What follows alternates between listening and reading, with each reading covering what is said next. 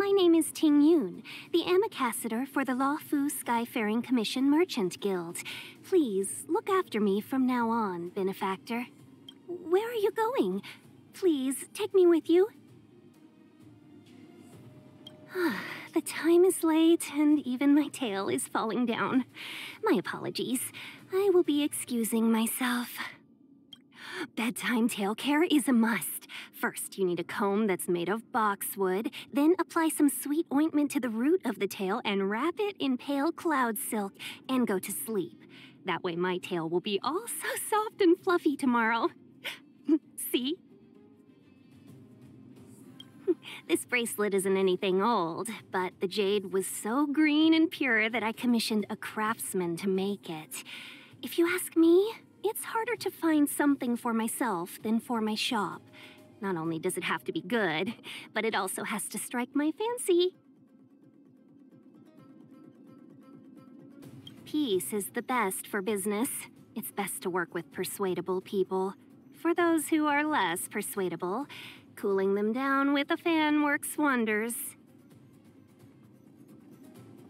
Every time I head out, I leave a letter behind and lock it in the drawers of my shop. If I come back, then I'll burn it later. If I don't, then it'll be something for others to remember me by. If I have time, I head over to the Sleepless Earl when it's late. If I want company, then I chat with the patrons there. If I want leisure, then I watch people drink tea and toss dice in order to practice reading people. It is quite fun. The Skyfaring Commission are all very gallant. Though I admire them, I really can't imitate them.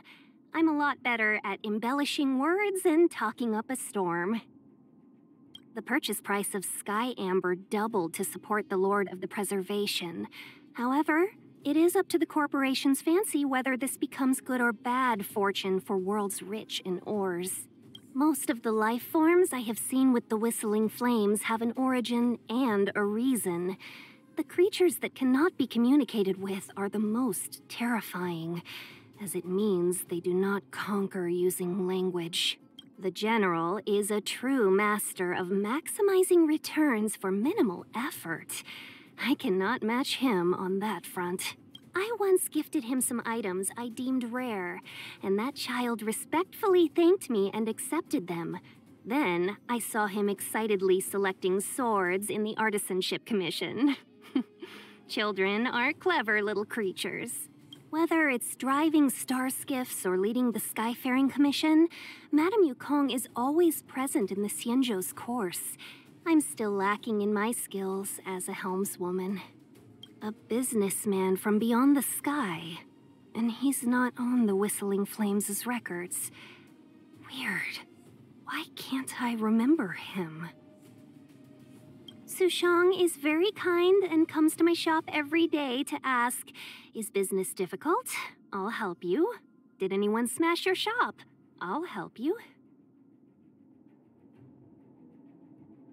Lady Bailu has small hands but is very skilled. I have to go lie down and have a massage with her every time I return to the Luofu. I just thought she was a frequent customer of the games parlor, but recently I heard she is a diviner from the Divination Commission. Aren't they always busy over there? How can the Master Diviner has a harsh tone, but she speaks sense. To be completely honest, her lectures are quite memorable. Nowadays, Meng Ming manages everything in and out of the tea house. People say Foxians are born to do business, but things are always easier said than done. Seize the moment. Well, we're in trouble now. Customers are always welcome. Let's be friends, shall we? We were supposed to attack yesterday. Chill out. Evil's begun. All the best. Can we talk? Uh, you pay for that. A thousand wonders to raise your spirits. Good omens. Fight has won. Not my lucky day. Need a hand. Better late than never. cool it. We make a pretty good team. This'll get a good price. Smooth sailing. Ah, that's a tough nut to crack. got places to be, I'm your best guide.